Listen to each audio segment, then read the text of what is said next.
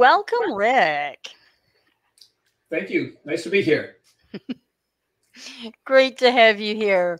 Rick is going to be one of 32 authors at the Holiday Book Festival, Saturday, November 30th Mm-hmm. at Kensington Mill Falls Events. That's located in Milford, Michigan, uh, right on the main drag. So that will be fabulous. So, welcome, Rick.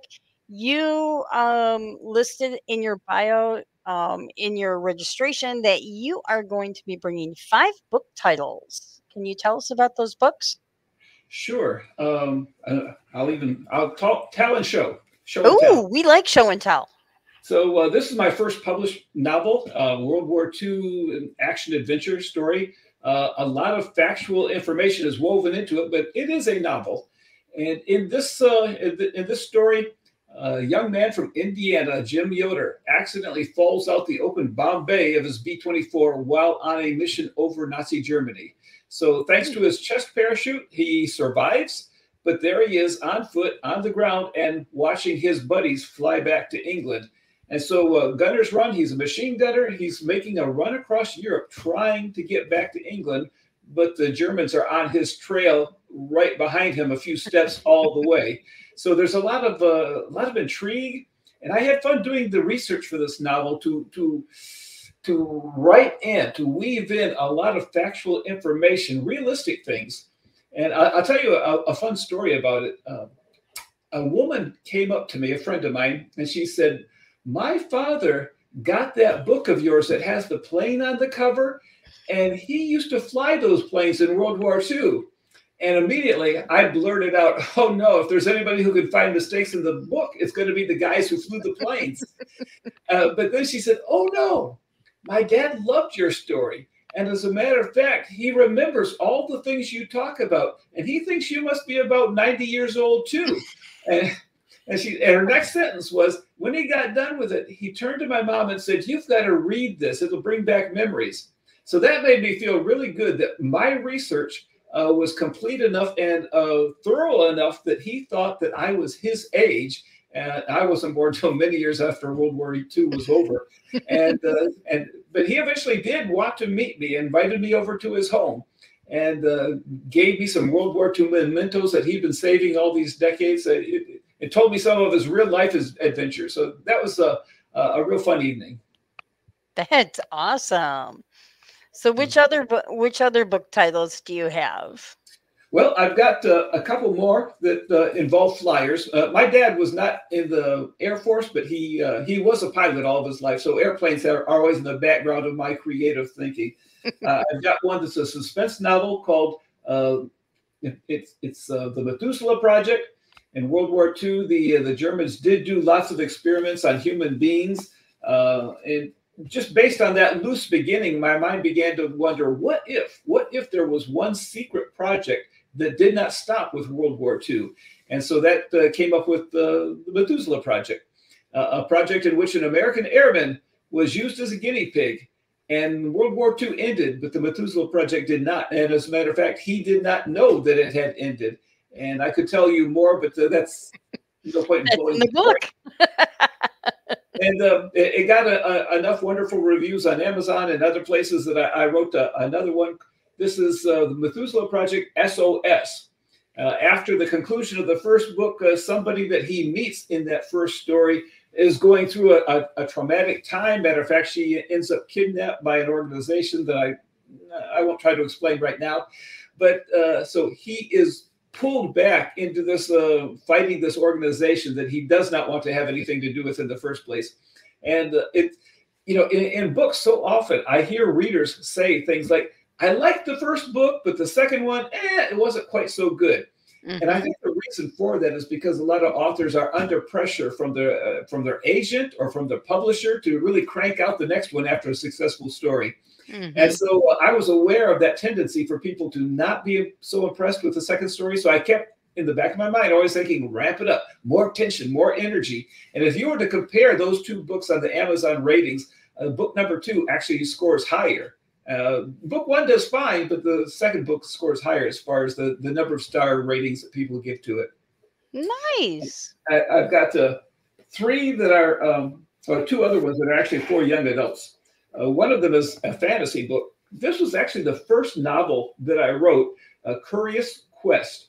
And mm. it's fantasy, kind of like uh, Chronicles of Narnia, different story. Okay.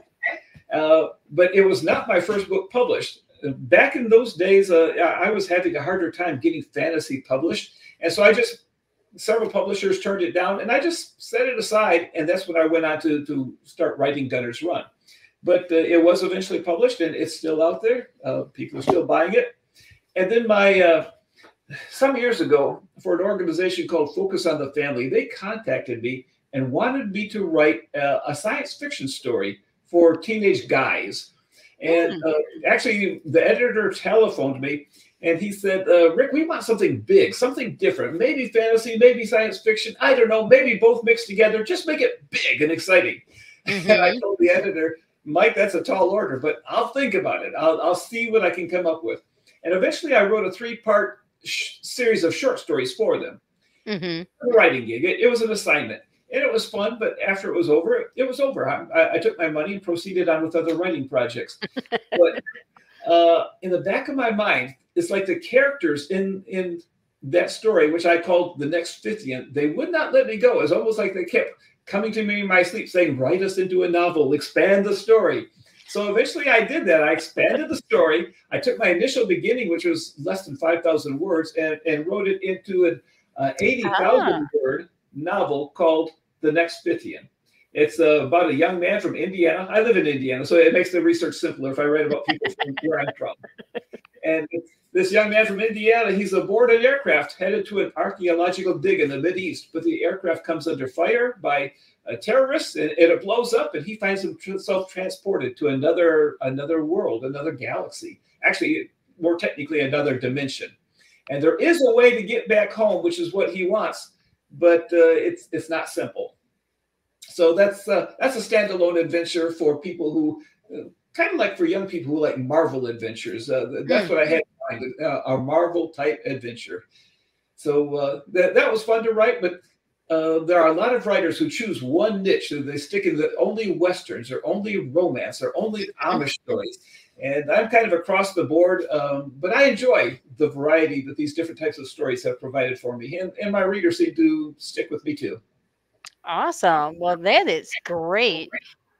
So you said that you've um your dad was a pilot. Yes. Uh yes.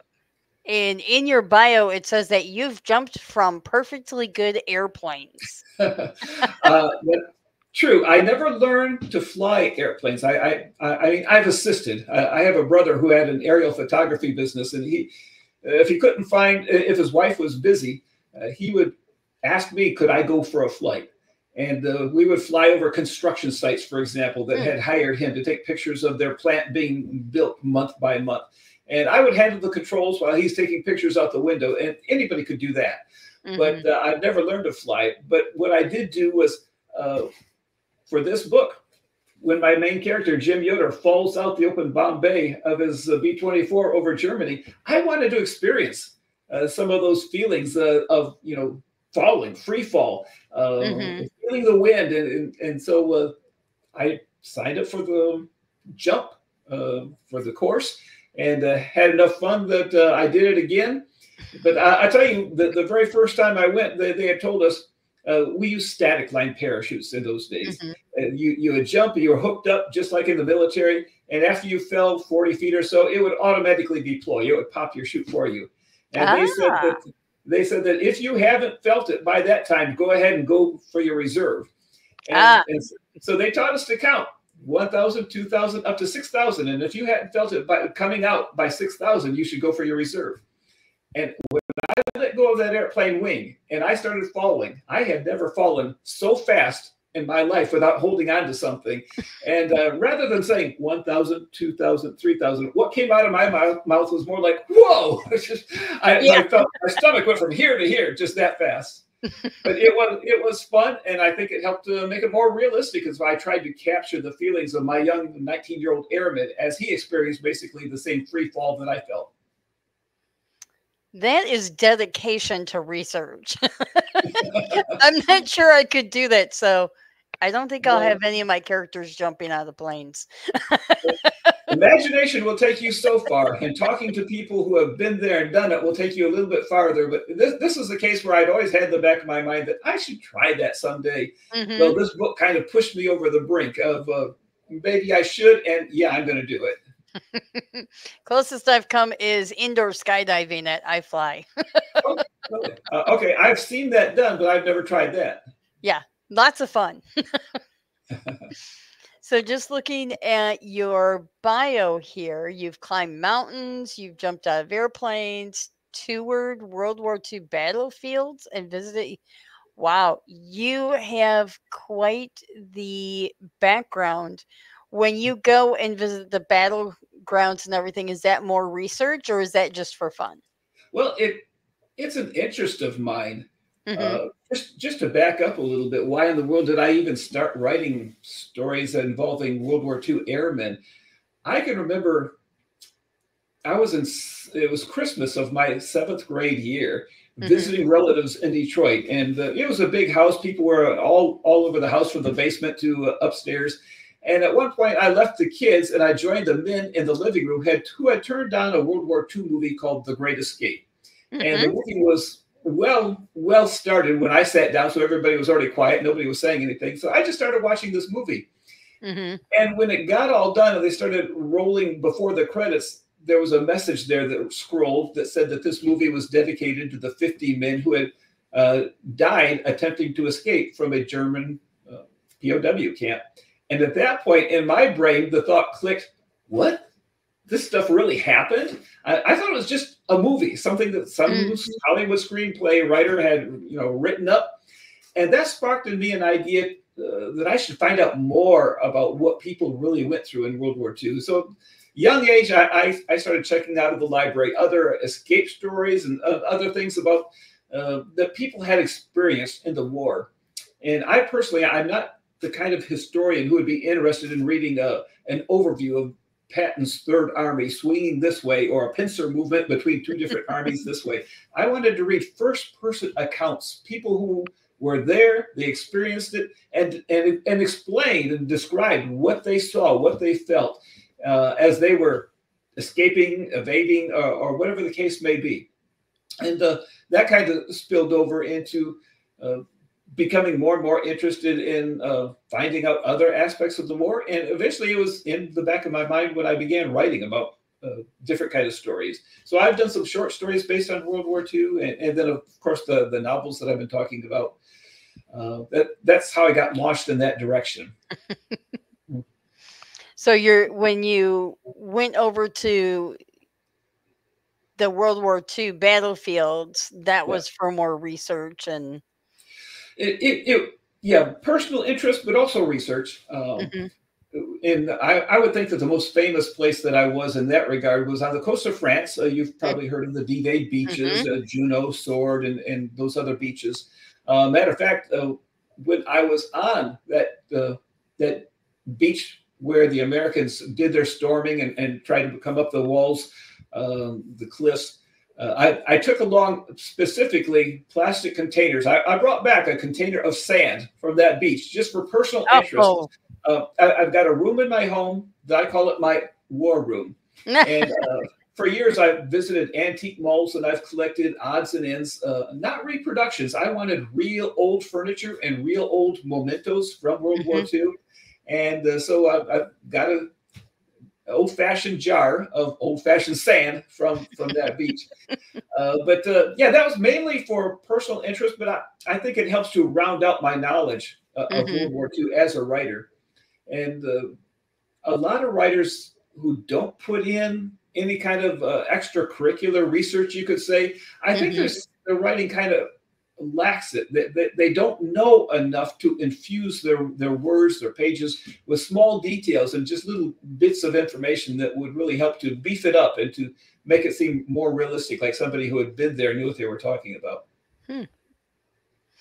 So you have visited Eastern Europe over 50 times. Right, right, uh, and that's not just uh, that's primarily not war related. although okay. I have been places in uh, Eastern Europe, so Ukraine in particular, uh, mm. Russia also, where battles have taken place.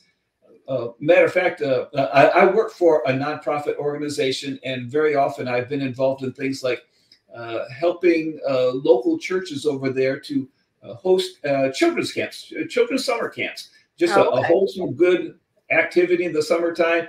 Uh, the kids get good nourishment. They get to play wacky games and competitions, things like that. And uh, we were holding one on the property of a church one time. And uh, it got to a point in the day where, on the first day of camp, where the adults said, okay, let's go down to the field for, for game time. And so we start heading off down this dirt road to what they called the field and the the road kind of wound up and then as we were approaching it i see this big concrete bunker sitting on top of this hill. And yeah there's a field around it but i, I was just immediately amazed. I thought i didn't know that there was anything like that around here. And they said oh yeah there, there's a string of them on all along this western side of the city of kiev. And ah. I, I, I was fascinated so immediately I had to be involved in playing games and competitions with the kids. But in the back of my mind was I wanted to go explore that bunker, and uh, because of course it was pitch black. That's an mm-hmm. understatement to say pitch black. I had to wait till later on uh, that evening. I got a flashlight and I asked some of the other Americans with me, "Hey, anybody want to go back there and explore the bunker?" So we we did that a couple of different times. Matter of fact, it became a regular thing that I took my uh, college volunteers down mm-hmm. to the bunker and some of us would come out home saying that was their favorite part of the week, is just getting to explore underground.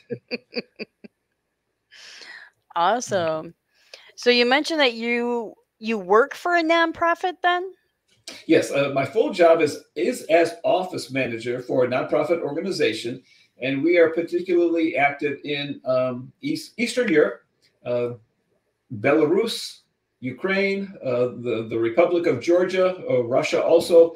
Um, so it nowadays, you know, with the war going on between two of these countries, I've got very good friends in Ukraine and I've got mm-hmm. some very good friends in Russia. And it, it hurts me really to, to mm-hmm. see those two countries going at it like this.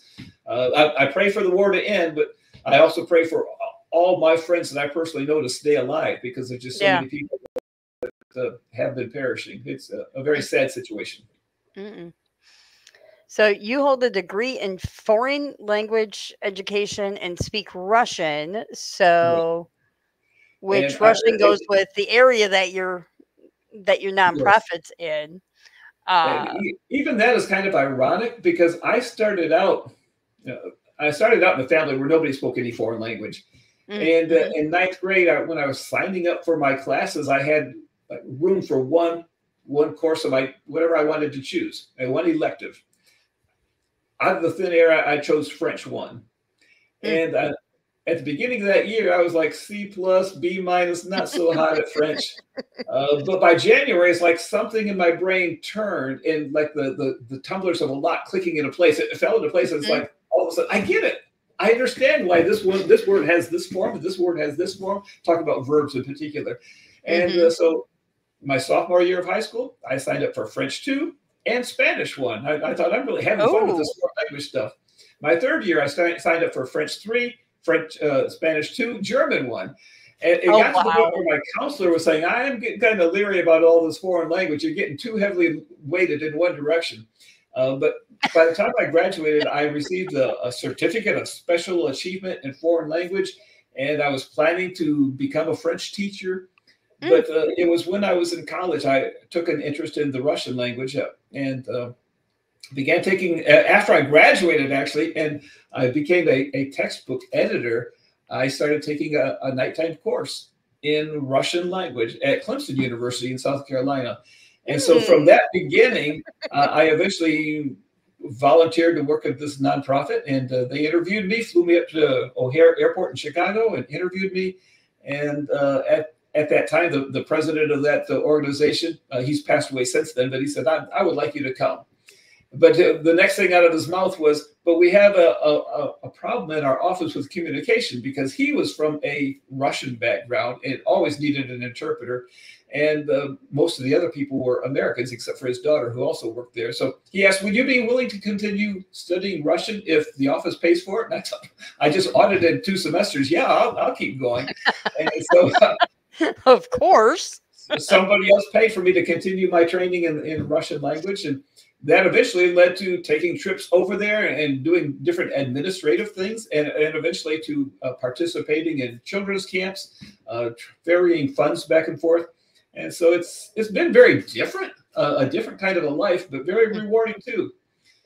So, and then my freelance writing is just all on the side nothing to do with really my work at all except that i do write the the, the, the newsletters for our organization and some mm-hmm. correspondence things like that so with your writing, do you are you a plotter? Do you have an outline and all of that, or you just or do you write by the seat of your pants, or is it a combination? That's a good question. And for people who are not writers or are just beginning writers, they might not have heard it, but there is a, a particular expression called a pantser. Mm-hmm. And uh, people come to me and say, like, what's a panther? It, it sounds like a, a, a, black cat from Africa, but it's not a panther, it's a pantser. Yeah. Uh, people who who write by the seat of their pants and, and, they don't know from one page to the next exactly where the story is going. But uh, I'm not exactly one camp or the other. I'm kind of in the middle. Okay. And my my personal style is that before I even begin to sit down to write chapter one, I will be collecting ideas. I will have a story idea that's kind of uh, stewing in my head, and I keep dropping. It's like making a stew on the stovetop. I keep dropping in bits of this and bits of that, and ideas, and and uh, kind of swirl around and see how that cooks up together. But before I begin writing, I will have a a separate folder with all kinds of information that I have collected. That information, in some cases, has been about Eastern Europe, about France, about Germany. Um, sometimes it has been um, debriefing sessions with uh, uh, th- this is something i didn't know existed but you can find online government debriefing sessions where uh, pilots would come back from their bombing raids over germany and they would have a go to a debriefing hut and uh, they would ask them oh. to describe what happened on the mission and and uh, you know what kind of success or failures they had, what they saw, and those things are recorded. They're still available, and so I found that kind of information just invaluable for me and I kind of reworded and duplicated some of it for some of my books. Uh, but um, so I have a lot of information and I have an idea for a story. I usually know where I want my story to begin. I know mm-hmm. how I want my story to end. And I have a lot of ideas for what I want to happen in the middle along the way. Okay. But I don't have, I do not have a complete outline. So as I write, basically, I, I have I try to craft a, an eye-catching, interest-catching beginning, mm-hmm. and then from there I start connecting the dots. And, and so it's partially plotted out for me, but there's enough space between those plot points that I have to do some discovery. and I, I can remember one day, uh, one of my uh, one of my heroes from this book, mm-hmm. he grew up in an Indianapolis uh, orphanage and from a younger, youngest age, he felt like he was meant to fly, born to fly, he says. But he never knew why, and he never knew who his parents were. And one day I was driving down the road and I had this like eureka moment where all of a sudden I realized who his parents in the story were. And I pulled out my phone and I called a friend and I said, I, I finally figured out who Rogers Greene's parents are. And his friends, after a long pause, said, who's Roger Greene? said, the main character in the book I'm writing. And another long pause, like, okay. I was excited, but I can't expect somebody else to be excited just because I am. Uh, there are those moments of discovery that are just exciting, in, at least in the, the mind of the author, when mm-hmm. things start to click into place, and all of a sudden you have the, the answer to something that's been like a stumbling block. so, do you have any more books planned out, or? in the I working on one at the moment, and uh, it will be once again it involves a pilot, but it's contemporary, but it's much oh. more of a, a, a, hallmark type story than anything else I've read before, uh, written before. Now, now these books do have a light thread of romance in them, but romance is not the main thing. Mm-hmm. But I'm working on a story now at the prompting of my literary agent, who said, "I think you could turn out a really good romantic story." Well, I hadn't really considered that before, and uh, as you know by now, that I, I considered more my my main type of favorite hero would be like a military type character. But I am writing a story now. I'm about 42,000 words into it about a former Air Force pilot who has been writing, uh, flying for Hollywood, being a stunt man, stunt flyer for movies, and mm-hmm. uh, about how he gets burned by a woman who just was using him as a stepping stone to get introduced to producers and directors. And he gets all upset about the the, the plasticness, the, the the false smiles and everything of Hollywood, and he leaves. He, he decides he's going to just throw a dart into a map and go wherever it is. And it lands in Danville, Indiana. And so he flies his private little black biplane from Los Angeles to Danville and doesn't know that love is waiting for him there. So it's uh it's different for me. I, ha- I, have done my research in this case by watching some Hallmark movies, uh, but, but, it is fun. it, it is fun to, to, spread your wings, you know, and exercise mm-hmm. a, a, new kind of genre and uh, but but once again keeping the continuity of an Air Force military vet. Very good. That that sounds really interesting. Um, Hallmark does have a certain formula to all of their movies. You know, and, yeah, and, and writers joke about those formulas quite often. Yeah, yeah. My husband always jokes that you know, why can't she just hold a job? Because they use the same actors for multiple movies. You know, she's been a baker, she's been this and that. Right. it's like, well, I don't know. yeah, the fans do get attached to certain actors. Yes. At least for that kind of a genre. Yeah. So, um, so you mentioned you have a literary agent. So, did you self-publish any of these? Small press publish? Or are you with a bigger publishing house? Or okay, um, I have gone uh, both. Um, for people who are not involved in publishing, they, they might not have ever even thought about it. But the traditional publishers, you know, the Harcourt, the Random House, those mm-hmm. kind of places, uh, you can't really just send them your, your manuscript like you mm-hmm. could 20 or 30 years ago. You have to have a literary agent who is basically the filter for those bigger mm-hmm. houses. And if it if a submission comes through an agent, they figure, okay, somebody has basically vetted this, somebody is betting that this is a good quality story, not just good, but uh, an exceptional quality story. Mm-hmm. And uh, so if it comes from an agent, they will take a look at it. That doesn't mean that they'll buy it. They might not offer you a contract, but at least they'll take a closer look at it instead of just sending it back as a un, unrequested manuscript. Mm. Um, but I so I've had two accepted um, at a smaller presses, mm-hmm. and um, well, actually, yeah, uh, I have to recount here. Yeah, two accepted traditionally, and then uh, for my third one, I decided. Not the third one. Excuse me, I'm just getting mixed up because I hadn't expected that question. But my third one was also traditionally published, uh, but it was my fourth one and fifth one that I thought I'm. I used to be a textbook editor. I worked hand in hand with the arts department. I worked hand in hand with the various other people in publishing. So I thought mm-hmm. I should be able to do this. And mm-hmm. so uh, I self-published the the fourth one and the fifth one, but uh, that that does put a lot more mm, burden on the author because you have to be in charge of hiring a graphics person to create your your cover illustrations and do not fall for the temptation to save money by doing your own artwork. This you don't want it to look childish or amateurish. You, you want something that looks really good. And uh, you you have to hire some editorial help here, I used to be an editor. I worked for five years as an editor. Uh, that was my profession. But every writer has their blind spots. And you can be weak in an area and not know that you're weak in that mm-hmm. area. And you need somebody with an, a professional, objective eye to read your work and say, stop doing this. Uh, you've already used this word 50 times, just oh, whatever the case may be. And mm-hmm. uh, so so you need a, to hire a professional editor, at least one, mm-hmm. and uh, you you you're just in charge of uh, finding the ISB number, um, there's lots and lots of decisions that go make into that go into self-publishing, and so I think I prefer traditional publishing. But you know, those traditional publishers, they've got their their time set up for the print runs of books each year. There's only a limited number of slots, a limited number of publications, manuscripts that they can accept. And uh, if they've already got their quota for the year filled up, that's it's just too bad. They just can't squeeze yours in, no matter how Mm. good quality it is.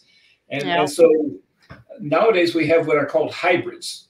Yep. Uh, authors authors who have traditionally published books and but also have self-published books just because the traditional publishers had no more room in their schedule, no more press time available. And rather than wait another year for them to maybe have press Mhm. time, they just proceeded to, to go ahead with their knowledge and expertise and uh, trust that the readers who will like their kind of work will find them. Awesome. Well, this has been great. I've enjoyed our conversation. I um, so you're going to be reading at the event and I've got you down for um the book cover contest so you'll be reading the Methuselah project yes. but you'll be the book cover contest is the other book.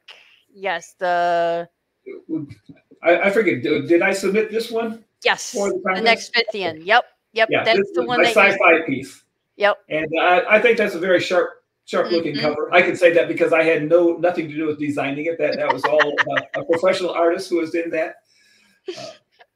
Well, also, I I so look forward to meeting you in person in November, and we're gonna have a great time. Yes, we are. We are going. I don't know what the weather will be that day. Uh, It might be chilly, but we are going to have an excellent time in Milford, Michigan. I will see you then, Rick. Okay. Thank you so much for this invitation. Enjoyed it.